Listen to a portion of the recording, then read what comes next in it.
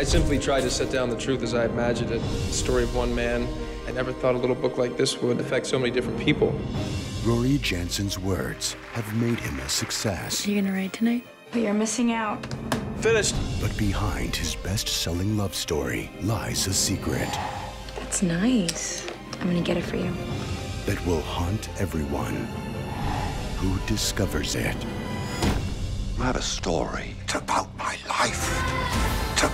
It's joy and the pain that gave birth to those words. I have to tell you something.